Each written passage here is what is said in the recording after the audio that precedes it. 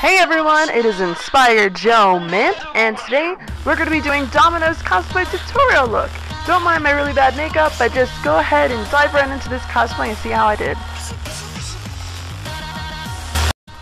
Now, I know for Domino's cosplay or character, there's a lot of different outfits, whether it's fan-made, movie-based, comic-based, or action figure-based. But this is my version from this picture that I actually found, and I will list all the items of what I gathered for materials that are best for her. So please look at this list, and if you ever need to pause the video or either come back to it to get those items, that is totally acknowledged as well. But enjoy the tutorial. For starters, we're going to actually start off with a 4 extra large t-shirt, which I should have got a spare, which you'll see why later, and a large for a jogger's pants, which both items I actually received at Walmart. I did chose it this way just because it is easy for cosplay conventional reasons instead of one bodysuit. Next, I'm actually going to do is the fitting. So I'm going to actually do the pants first and sew those down, but here are what they look like before I even get started on any sewing parts so you see the demonstration. Now that I have the fitting I want for the pants, I'm actually going to go ahead and sew it down to make sure everything is slim and thick for my Domino cosplay. And then we're going to start on the top half of her actual bodysuit. Actually have finished your fitting for the legging of the pants. You're going to proceed on doing the top part of the bodysuit. The top part of the bodysuit is going to be consisting of using a runner's tracksuit jacket as a pattern and then you can do the sleeve patterns later on on another piece of fabric or another shirt. Unfortunately for me, I didn't have another shirt, so I couldn't do that. I had to salvage whatever pieces I had left over, so please learn from my mistake.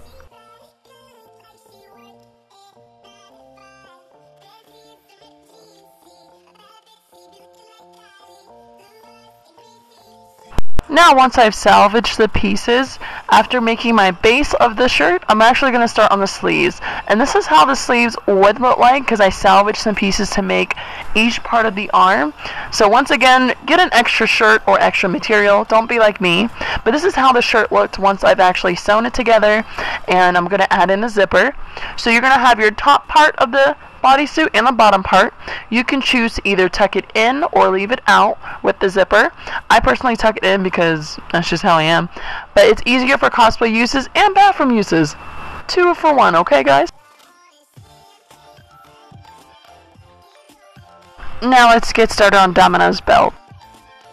So here are all the items that you would need to make Domino's belt that I made from just using scrap items. If you need to see the actual details of which items are which, please go back in the beginning where I did say which actual items you would need for the exact belt materials.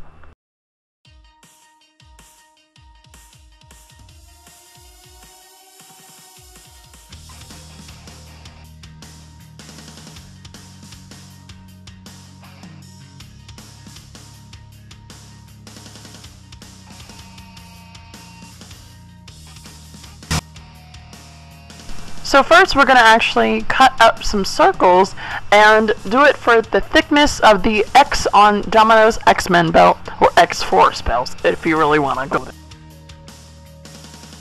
Remember that black bag that we had earlier? So you're going to use your scissors and cut out the bag's actual holder piece, which is actually just that long string that just holds it for the bag so the purse's handles.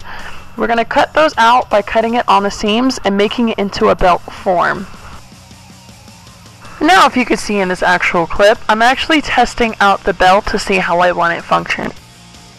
Right here you're actually going to use this back little piece as a guide to show you the back of the belt so you know where the front of the belt is going to be. Now using the back of this buckle that I have seen here, we're going to use that as a guide so we can see the front of the belt and also where the loop is going to go so that you can fasten it to your fitting. Okay, so remember humans, before you actually put the X-Force symbol on top of the belt, we're going to go ahead and put a little piece of a divider or markings to show where the actual fitting of the belt is going to lay on your body. I'm using a piece of tape because I couldn't find a piece of fabric chalk or a white pencil, so I'm going to go ahead and lay that out. Then I'm actually going to start proceeding on putting the duct tape and then finding out where I want to put the X-Force circle on the actual belt.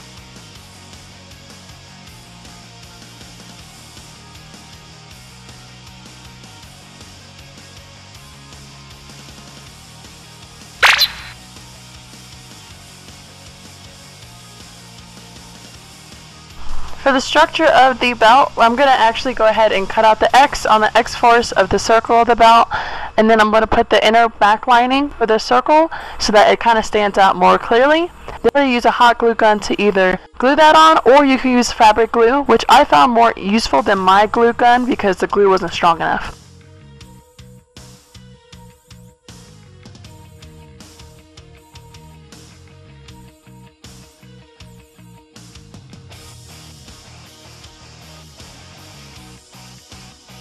Now go ahead and feel free to get your spray can and your toy guns out so that we can get started on Domino's accessories.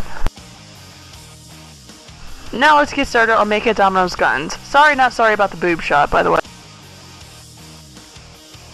For all the smart kids out there, before you start spray painting, you need to actually go ahead and use painter's tape or any kind of tape related to this to cover up the important parts, like the parts that make it don't look like a real gun, which I'm going to proceed with that.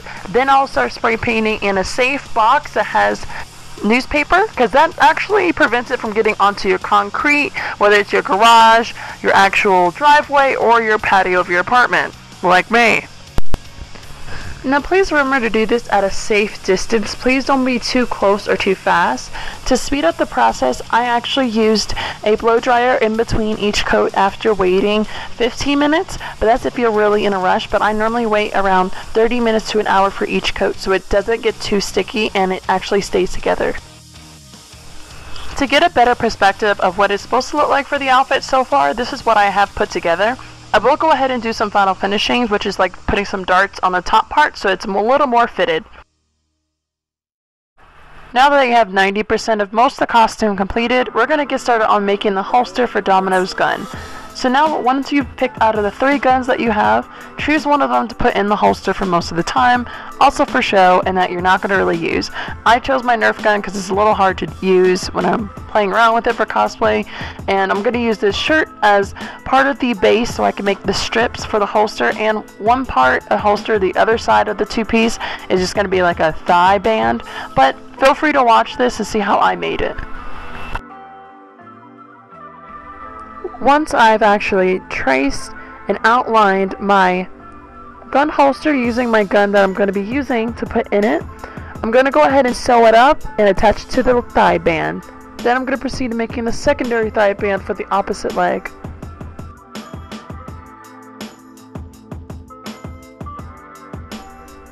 Once you feel like you found the right area to make the firmness of your thigh band, please go ahead and hold it with a sewing tack and then proceed to take it to your sewing machine to finish up the sewing.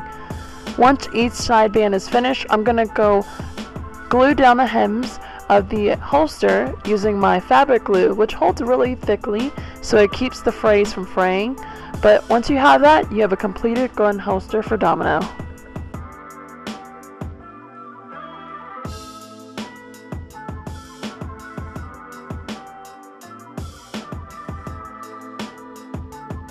Alright ladies and gentlemen, this is the ending concluding of my Domino cosplay tutorial. Hopefully you guys liked it just as well. Leave a comment and subscribe and like this video if you want to see more cosplay tutorials.